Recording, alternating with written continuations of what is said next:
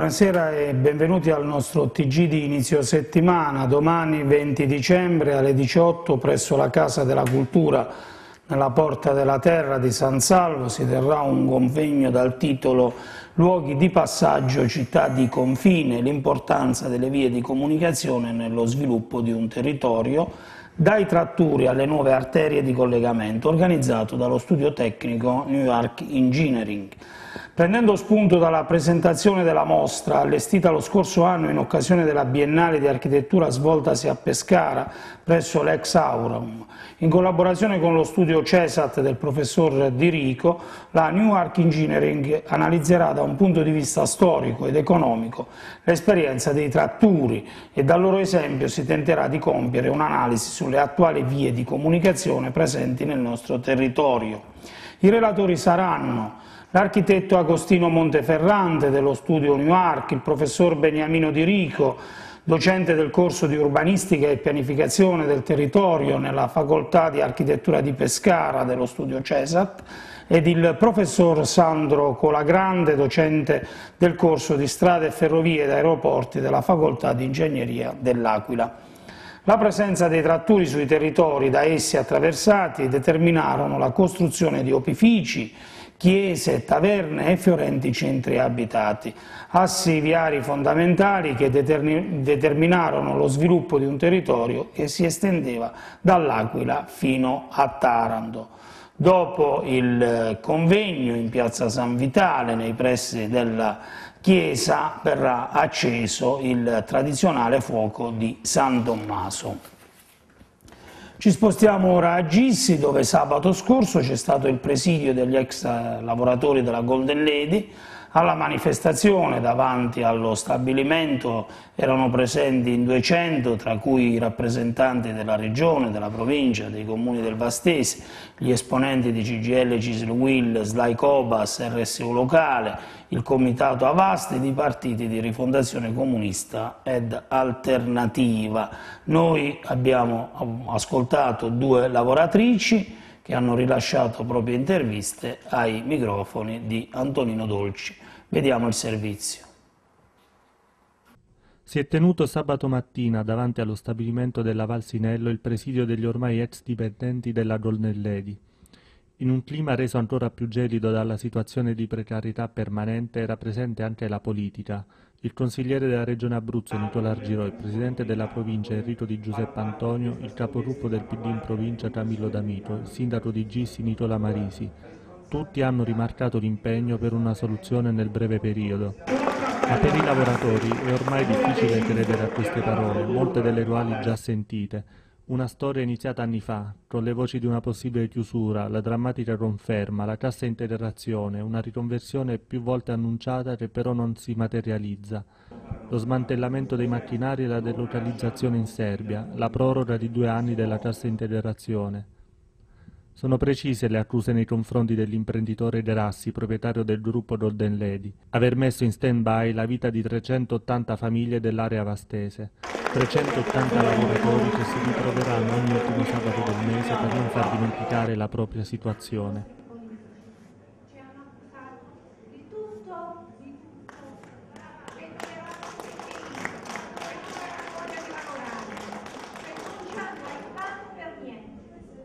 Io lo invito a ritornare in Italia per produrre in Italia fare un pochino meno profitti e non lasciare in mezzo alla strada migliaia di persone di famiglia.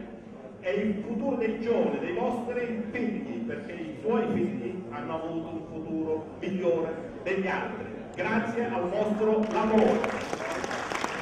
Noi abbiamo sempre prodotto, noi ci troviamo con le spalle al muro.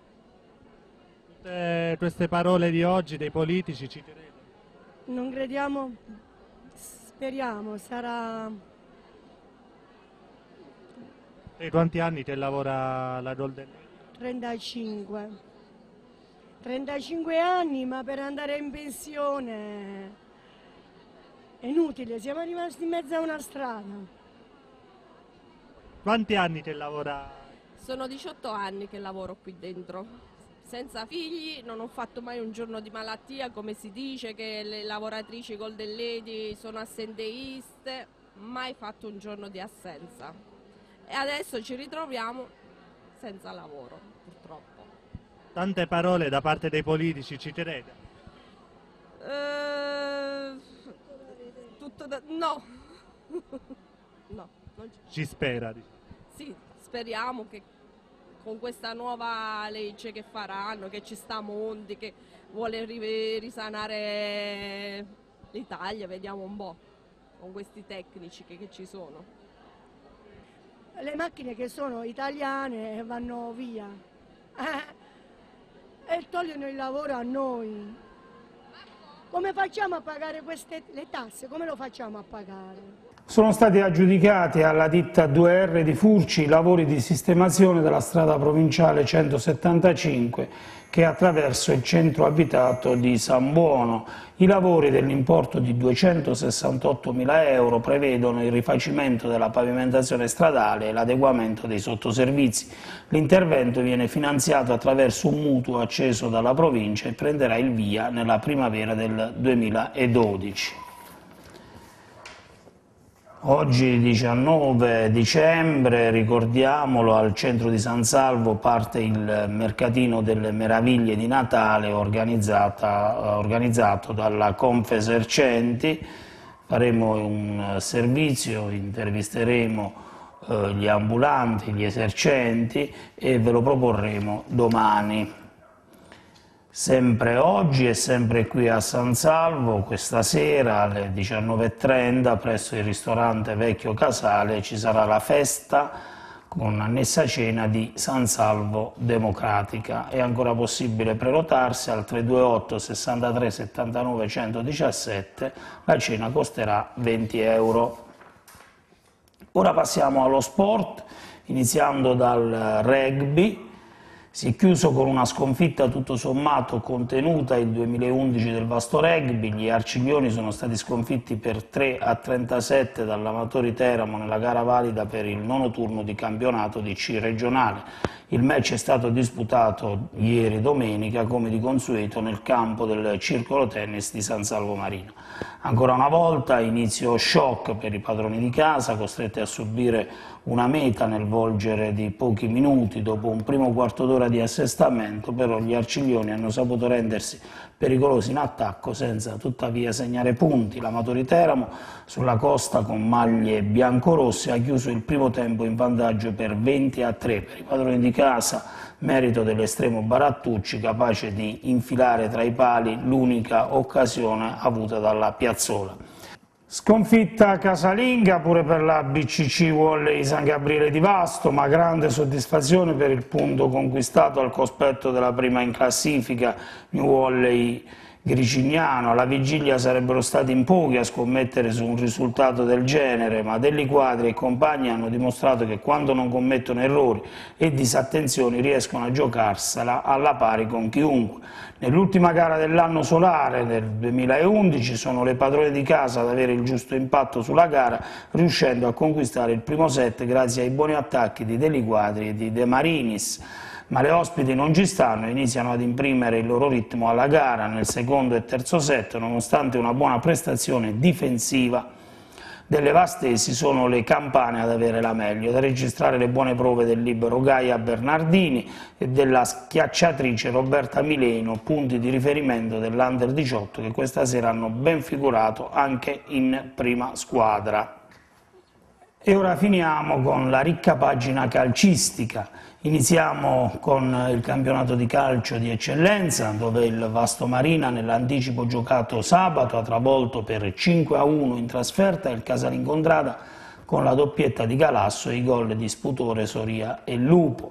Il San Salvo invece è incappato in un pareggio a reti bianche nella gara casalinga di ieri pomeriggio.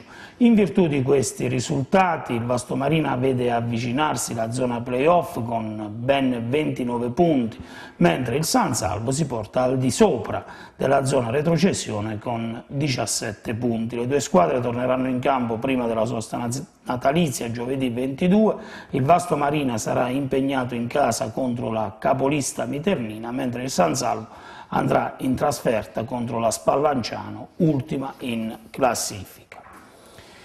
In promozione non passano un buon momento le squadre del Vastese, il Real San Salvo rimedia un doloroso 5-0 a Cepagatti contro il Torre Alex, mentre la Virtus Cupello è sconfitta dal Rauretum per 0-2. Per la squadra cupellese si tratta dell'ultima partita interna lontana da mure amiche. Nella seconda parte della stagione infatti giocherà sul nuovo campo in erbetta sintetica inaugurato sabato. In classifica il Real San Salvo occupa il penultimo posto con 12 punti, mentre la compagine cupellese è addirittura ultima con 10. Nel turno infrasettimanale di giovedì 22 dicembre si giocherà a San Salvo l'importante sfida salvezza Real contro Virtus. Ora arriviamo alla prima categoria, nel nostro girone B, la San Paolo Calcio Vasto pareggia per 0-0 contro il Quadri e si porta al terzo posto con 23 punti insieme a Fossa Cessia e Castello 2000. Il Trigno Celenza invece ne segna 2 ma ne prende 7 dalla capolista assoluta Perano, resta in zona play-out con 15 punti. Stessi punti per l'Audax Palmoli che perde fuori casa contro il Fossa Cessia per 2-0, infine il Rocca Spinalveti fermo a 8 punti ma con una partita in meno visto che quella di ieri è stata sospesa e si trattava dell'ultima partita del 2011, ora la prima categoria si ferma per ricominciare l'8 gennaio. Ci vogliamo ora in seconda, dove si è concluso ieri il girone di andata del campionato con il Real Tigre Vasto che si laurea campione d'inverno avendo battuto lo United Cupello per 2 a 1. Sempre ieri si è disputato il derby tutto sansalvese tra Sporting e Simone Piccirilli, il risultato è di 2 a 1 per lo Sporting in gol con Di Gregorio e Chioditti, mentre il momentaneo pareggio del Simone Piccirilli porta la firma di Bevilacqua. Spicca il 7 a 1 del Torrebruna ai danni del Montazzoli, netta la superiorità dei torresi, ma da un certo punto in poi il Montazzoli ha rinunciato a giocare in piena contestazione contro l'arbitro la classifica è guidata dal Real Tigre a 32 punti ed è chiusa dall'Entella a 7 il Simone Piccirilli a 4. Si chiude così il giro di andata, si tornerà in campo il 15 gennaio. Chiudiamo davvero ora la pagina di calcio con la terza categoria dove nell'ultimo turno prima della sosta natalizia il Fresa Calcio conferma la propria superiorità battendo in eh, trasferta il Dogliola, risultato mai discusso e biancorossi che vincono per 3 a 1 con una doppietta del bomber Fabio delle Donne e la rete di Riccardo Duca. Il Fresa Calcio chiude il 2011 primo in classifica con 24 punti, inseguito dall'incoronata a 21. I biancorossi nel nuovo anno potranno contare sull'apporto del forte centrocampista Ottaviano, Fresano Doc e di ritorno dalla Virtus Cupello di promozione. La terza categoria riprenderà l'8 gennaio e con questo è tutto, arrivederci a domani.